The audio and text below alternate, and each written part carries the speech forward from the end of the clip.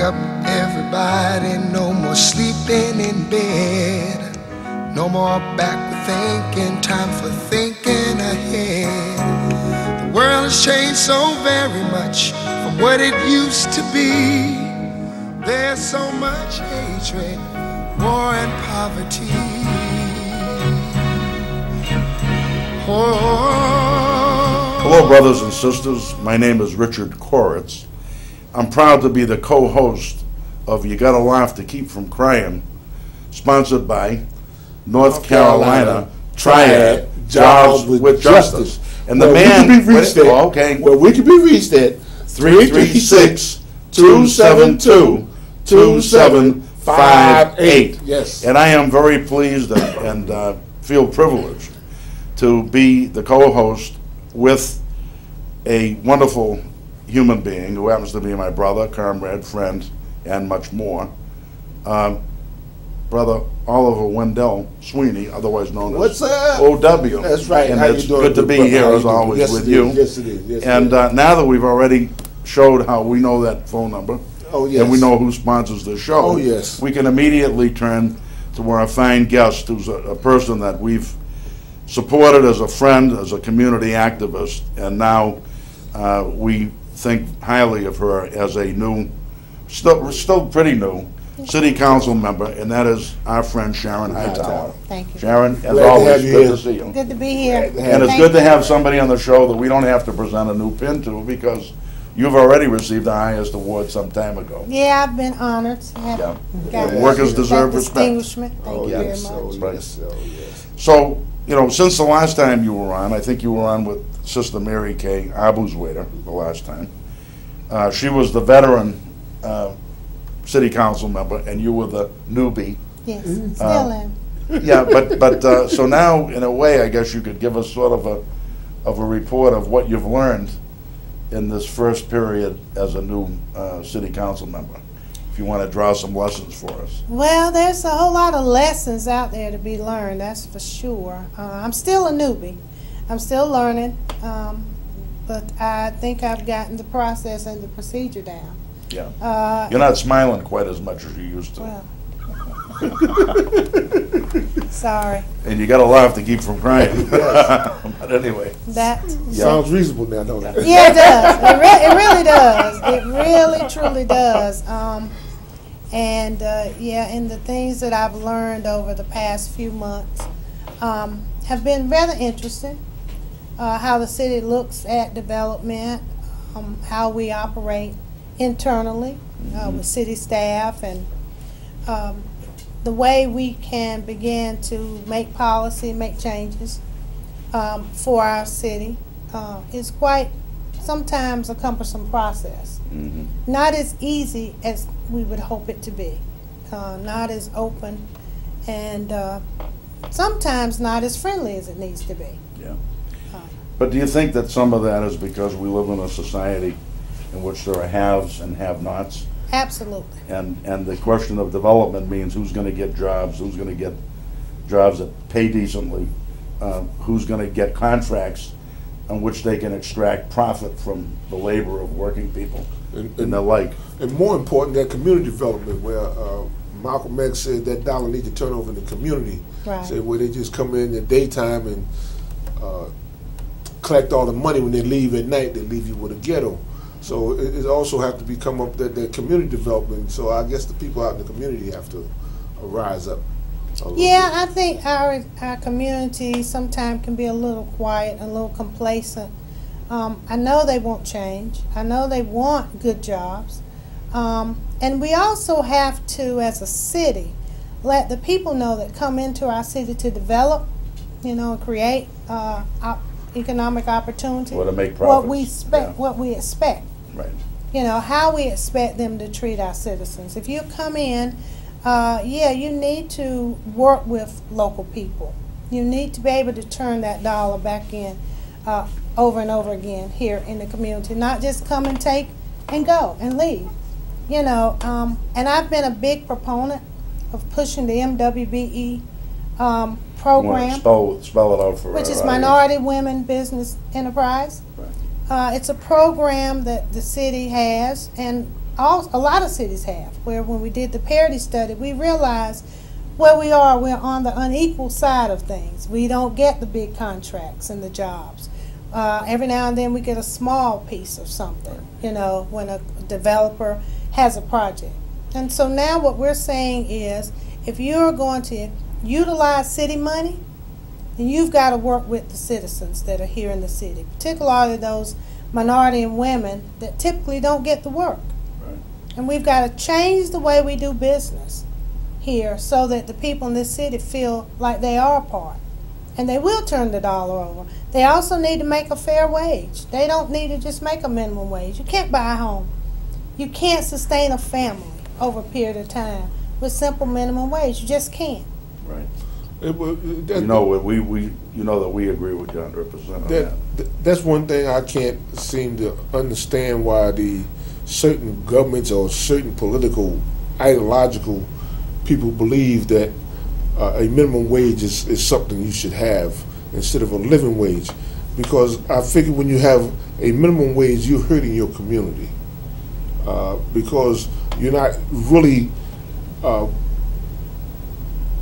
growing the community. It's, it's, it's, it stays in a slow motion instead of moving in a fast motion. It's just like this here 1010 that uh, the, President the Obama. president the president have introduced, and you know I'm not a fan of anything that's not a living wage. I love the fact there's a living wage, and, and they need to. So I would like to see. Uh, Wait a minute, but you're not saying ten-ten is a living wage. Beg your? You are not saying that ten-ten is a living wage. I just want, I want our viewers. If it wasn't on I know- camera, I'd wait punch you right in the No, no, you wouldn't. No, you wouldn't. But, Insulting uh, me like that. No, I know that, but the way it came across, it sounded like that, so I wanted our audience. to be- 1010 is nowhere near the living wage. Absolutely, it's about half. It's almost half a living wage. But That's nowhere. Right. The full thing is a living wage. Right. Um, and, and, and when I was talking about these political, ideological, where they talk about, uh, well, we need to have upward mobility. How can you have upward mobility? You you got to have two ten, seven twenty five jobs, seven seven seven dollar twenty five cent job. You got to have two of them to support your family. So you ain't No, no, home. three, three of them. No, I didn't say you were supporting your family completely. Oh, No, just You the- just su- to okay. support Helping to your support family. it, yeah. Yes, Okay. it's, it's, it's not a it's not a support a, com, a complete support of the family. It, it, it only thing it does is keeps you in poverty. Yeah, but at seven twenty-five an hour, you would need three shifts every day. That's twenty-four hours a day you'd have to work. Yes, and it, and from my understanding here in Guilford County, a living wage is supposed to be twenty two hours an hour. So Right. three three of them jobs wouldn't work Yeah, Three, three would work. Would not work. But you, but you, but you because wouldn't it have any didn't come time to to twenty sleep. two dollars an hour. Okay. Well, it wouldn't quite come up to twenty-two It's just dollars an about hour, $22 It would be close. It'd be close, but it We wouldn't wouldn't quibble about that. But, but. I people- would. But when would you sleep? That's the Hey. When would you So, eat? so hey, When would you see your friends and family? family, Yeah. how would you raise your children? Right. Exactly, right. Well, Okay. people who are working two jobs often aren't doing those types of things, being at home. Right. Uh, being able to go to PTA, being able to go to children's programs at school. I mean, you need to have a balanced family life. You ought to be able to work an eight hour job, sustain your family, spend time with them, become a homeowner and a taxpayer, and feel good about yourself at the same time. And people working two and three jobs don't have the time to stop and have time to really enjoy themselves. They live a stressful life. And you shouldn't have to live like that. You should be able to live stress free. We all ought to be able to have many of the amenities that are offered out there. I'm not saying that, you know, we all want to live in a mansion, but the home we go to should be our mansion. Yes. And, uh, you know, that's the way we need to start looking at our community, how to build our community, and build the equity and the pride in our community. And we talk about revitalization of our neighborhoods and homes, but people have to have the income to be able to invest back into their home to keep our neighborhoods up. Right. But oftentimes they don't, and then we want we find ourselves with neighborhoods where the houses are boarded up or they're not in very good condition. Mom passes away and leaves it to a child, and the child's working, but not able to understand, you know, just what they got to do to keep that house in the neighborhood looking, you know, reasonable and decent. So no job is going to come to an area where the housing stock is on the low end. Just not. And a lot of our neighborhoods want economic development to come into a neighborhood or new development. But when you look at the boarded up structures and the boarded up, the vacant warehouses and things, they're not coming. The jobs are not coming here. The economic development that we want and talk about is not coming until we do some things in our neighborhoods and communities that are going to improve that look and help our people go to work. Yeah, it's kind of like which comes first, the chicken or the egg, because you also mentioned, uh, as we were coming on on the air, the importance of people coming out when development issues are facing the city council. Right. You were urging that people need to come out, so that we, that's the other side of it. Yeah, uh, it's very important for people to come out, express their concern, speak out. This is their city. Um, but there appears to be a lot of apathy when there's certain developers that have projects and, and people say, well, they've got all the money and so they're going to do it the way they want to do it. And I don't have a say in that. Um, and I think that that's not true. Well, you're proof that an active community person like yourself can not only speak up, which you've done over the years, but now you're in a policy-making position as long as you get the backing from the community to enforce Right. your vote on that council. So that's, an that's, a- your, your election was a source of encouragement for us and should be a source of encouragement for the people, but it's only the beginning. Oh, Then, absolutely. then the people have to be there behind you Oh, yeah. in that effort. Well, they do. I can only speak out so much. I know how it feels to have to fight for a neighborhood to be recognized and to be treated fair. I know what that's like from the inside out. And it's a tough fight. Don't get me wrong. You have to sacrifice sometime, going to a meeting, staying late, you know. Um, but it's worth it in the end when you feel like you accomplished something. And that's what we have to believe in our community that we are an integral part of how things happen. And we can make them happen. And people will stop and stand up and notice when the neighborhood comes together and says, No, we don't want you to do this We, we, we don't want that White Street landfill to be reopened. That's right. Yeah. Absolutely. Yeah, Because we respect ourselves and each other too much. I agree. Yeah. You, you, you bring that up, and I was at a meeting for the um, uh, concern, cause, no, no, no, no, Citizens for Environment and Economic Justice. Okay. And they took a vote, uh, people who was there of who wanted to transfer some garbage from one spot to the landfill to the other part of the landfill. I was on the side that says transfer the, the garbage. The people who won that vote uh, were saying ship it out somewhere else. And what happened then is that they, they said they're going to take another vote at the Northeast uh, Concerned Citizen Group, which I thought was a big joke, and I just thought it was just a, a, a thing because I was going along with the fact of saving the city eight hundred thousand dollars. I go along with that fact. I'm not going to sit there and try to. right. But when the people who voted was the majority that they should send the garbage the way they've been sending it and taking it sitting right there, they because they didn't get the vote that they wanted, they wanted to hold another vote, and it. I never did make it to that meeting because I've been doing different things, and uh, being out of town is one of them. Uh, where I wanted to sit up in that meeting and tell those people the vote has already been taken. We who voted to save the city eight hundred thousand dollars lost. There should not be another vote. Right, right.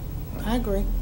I agree. I didn't make the CEEJ meeting, um, and I was a little late for the concerned citizen meeting, which was last Thursday, and they did talk about the landfill. I don't know if they had the vote, but I think you're right. Once we get a position, we need to stand firm on that. We don't always agree how that position comes out, but I should respect your right to have that vote, and if you come out on the majority end, then I should support your, Just like Brother Sweeney just did, Yes. that he himself did. Yeah. That's one of the things we love about him, Yeah. isn't it? Yes, That yes, he's that, because uh, he's that kind of person. I- He and, is. and- and Yeah, I haven't found out how that vote went on yet, but I it's, it's, it's, I'm gonna find out. And if they try to reverse it again, I'm gonna have to uh, I'm gonna have to get another vote. all right. So, Yeah. two, I mean, uh, one and one, you Right. always got to have So a you need the best two out of three. That's I right. got you. I hear you. But you know, you, one time when you were on our show, Sharon, you, you said that, um, you talked about when you first, uh, played an active role in a community, uh, effort that was successful. And I'd like you to share that again, if you remember it. I think it was. The one at around Barber Park? Yeah, Yeah. back, So I'd like, I'd like you to share it with our viewers, because to me, that's really inspiring. So if you would, just briefly talk about that. well, some years ago, um, when they began to expand Barber Park, they did a, um, sample of the soil. And, you know, it used to be an old landfill dumping ground. Um, and they found some soil that was contaminated. And of course, the remedy was to haul the soil out, uh, put in a ground well, and check the water periodically that was going through uh, the park to make sure it was safe. And so the neighbor concern was, well, you know, that soil's contaminated. We're not going to know what happens to it. That all sounds good, but they won't tell us one thing. They'll open that park up. We'll never know. We'll be walking on or what, you know, our children will be a part of. And so I went to council, and Keith Holliday was the mayor at the time. And I spoke out and I said, before you open that park, you need to have a community conversation. Tell us what you did, how you did it, and how it's going to affect our lives. Um, and they all agreed. They said, sure, no problem. We, we hear you and we'll do that. Well, I got wind that the day before in October they were going to open the park. No community community, meeting, no no community. conversation, Right. no phone call, nothing. Right. I, so when I got wind of it, I called every single solitary council person. And I got one pushback from Tom Phillips.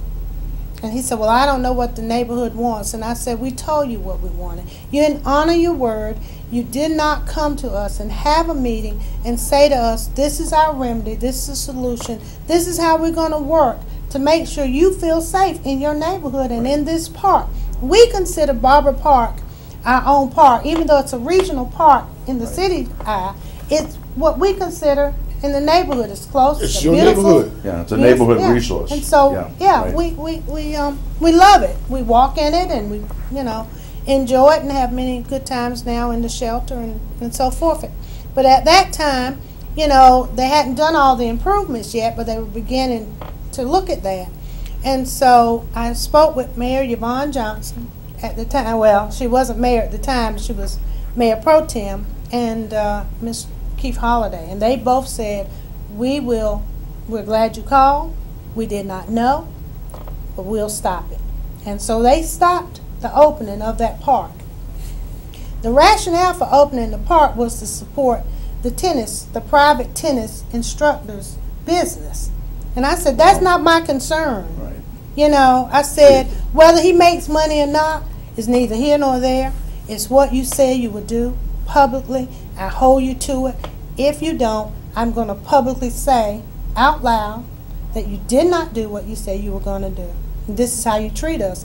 And so they did. They stopped the opening of the park, and they did. They came back, and I'd say the park opened maybe 30 some days later, but after we had the meeting. And um, the neighbors, we all appreciated the fact that they heard our voice. And so that told me that if you speak up and you speak out loud enough, somebody will listen to you. And that's the way we have to do it now. We cannot stop speaking out, voicing our opinion, and having concerns in our community and making sure they're heard and heard loudly. And when that happens, you have a successful neighborhood and a successful city as well. And I, I appreciate you sharing that again, because a lot of, a lot of our brothers and sisters in our communities, especially in the less affluent communities that we live in, three of us, uh, don't uh, appreciate their own power Right. and their own voice. And, and uh, so I think that, that's a great story for that Thank reason. And, and and they have to understand nobody reads their mind. That's right. Uh, they have to go down there so you so you raise a little hell. Who cares? I mean, you know, it's your right. Well, I we've mean- certainly heard you on many occasions. Not him. And, uh, No, no. I appreciate it. I I've mean, appreciated I, your. I mean, I, mean I, I, I want the citizens to go down there because um, they're spending your money, Right. or uh, as I like to say, my money. That's right. I like to make it personal. I like want people to feel that it's personal. I want them to feel like that dime is coming out their pocket because it is coming out of their pocket. is coming out. That's and, right. and they need to sit down there and say, "Well, I need my dime to do this here. I need my dime to do that."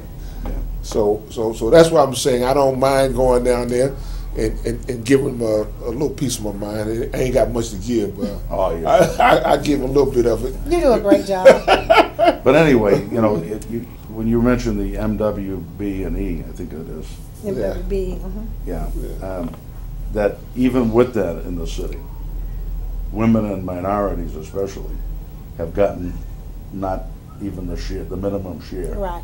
of business opportunities That's that they're supposed to get. So even with that MB, MWBE Mhm. uh, being there. So that's another reason why uh, people from oppressed communities and women need to be uh, showing themselves at the at City these, council. at these meetings, Yeah. and especially because even to me, and I'm a college graduate and all of this, and I'm white supposedly and so forth. Um, but the idea of development sounds to me even like it's a big word. That you know, what does it mean? But what it really is, is talking about jobs with justice, Right. and it's talking about uh, profit-making enterprises. Right. You know, one thing that really shocks the heck out of me. Decent and living wage, like I like Right, to kick of in. Absolutely. But the, the, uh, you know, a year or two ago, Skip Alston, who I work with on the, on the museum board, and Deena Hayes, who's now the chairperson of the, of the board, were two of the black people who were involved with some effort to get a downtown hotel. Mm-hmm. And at the time, the News and Record and all these different folks were finding fault, the, the the Weaver Quintance group and all of that. Wow. They had all kinds of criticisms of why Skip Alston and Deena Hayes and those other black people were getting involved with trying to get a, a hotel downtown. Then, the same, those same people that had been complaining came, came down and said, we have a plan to get a hotel downtown, and that was okay. And- and- But yeah, to me, that, that's an example of development that's, that- that's the wrong I- kind of development. What, what, what, what you see, Yeah, and, sure. and what killed me about that, Right. one of those I developers who, who's now supposed to be putting up a hotel down, want to block off a street, Mhm. and Yeah. it ticked me off. Yeah.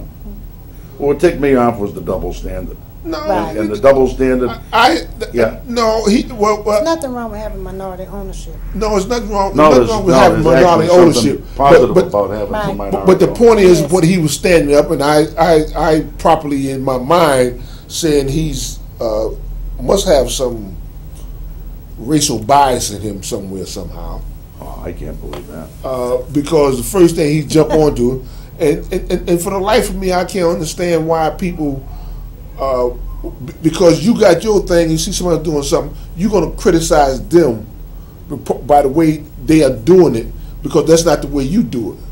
The, the thing That's was, not why they criticize it. They No, criticize no, it because they- they, they don't want their profits jeopardized. That's why they criticize I understand that. It's That- the other thing's only an excuse. It's, it's, it's a greed in there, but it's, That's right. It, it, it make it racially biased because they don't want you to make none of that money. Well, there it is. All right. But you know, if, when But- you live in a wait a minute, when you live in a capitalist country, any capitalist, no matter what his or her color, nationality, origin, whatever, they're out for maximum private profit. And so if you live in a white supremacist society like this one, then why wouldn't whites who are in business and are trying to make maximum profit, why wouldn't they use white supremacy as one of their weapons to try to make sure they keep making maximum Keep profits? making money. Yeah. So I know you understand that very well. yeah, you remind me of that line piece of paper. We hold these truths to be self-evidence that all men are created equally. Equal. But you better be ready to fight Me- for it. Meanwhile, they got people there in chains and slaves. So Ah, you know, so, so you you know go. that's a lie. Yeah. But but but, but the You're point right. is, they want you to do good as long as they're paying you seven twenty-five an hour. That's right. Yeah. They want you to do good and only pay you seven twenty-five an hour. No, you And doing keep good. doing and you keep doing, doing good. good. Long as they pay you seven twenty-five an hour. Yeah, From their point of view. Yeah, they because they're told- reaping all kinds of profits That's off right. of your that's labor. right. That's right. That's right. And then they want to complain about uh, why your children out here running the streets when you can't be home with them because you got to have two of them Job. seven twenty-five dollars an hour try to make things meet. Right. So- so Well, it's let's, great. we- It's let's, let's you're give right. our sister, sister councilwoman. Yes. Sharon Hightower the last word. Okay. We did, we never did get into the question of what some of the tensions are that are currently on the council that you might be feeling. So maybe we should get a couple of words on that. Yeah, Well, there are some tensions. There are no questions um, about that. Um, I ask a lot of questions. I've always been a person who asks a lot of questions because I want to know an answer. And if you tell me an answer that logically makes sense, I don't ask any more questions. But I feel like as a council representative, I owe my constituents that right to know information, to people who can't get to city council. But I get a lot of people say, I watch it on TV. And so, and they say, I appreciate what you say. Um, I ask questions from, I try to, from a common sense perspective, so that people get it. Well, some of my fellow council members think I ask too many questions. They think a couple of my other uh, council members ask too many questions. We question the things that they feel like they've already put a stamp on. And so what we should do is rubber stamp it along with them. I disagree with that. First of all, I'm new. You need to tell me what you've done, how you've done it, and why we arrived at- at where we are. And in order to do that, I have to ask you that question. What is this about? What does this mean? How is it going to impact and benefit my district? You know, let- Let's say this then. We're pleased that you're a, uh, a uh, city council member who represents the interests of the ninety-nine percent. And we're pleased to be with you, and I, Sister and I got news for you, Madam Howard. thank- yes, uh, When you ask those questions, there's some people on the other side of town who represent you well. That's They right. vote for you. So keep asking the questions.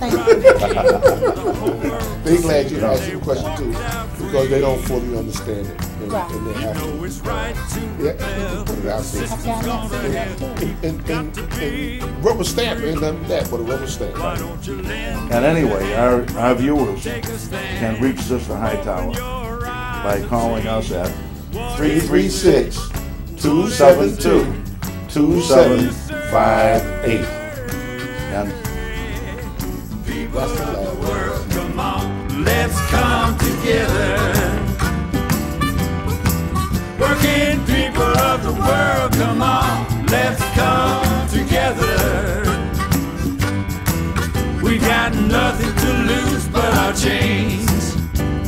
Nothing to lose but our chains. We got nothing to lose but our chains. In a world.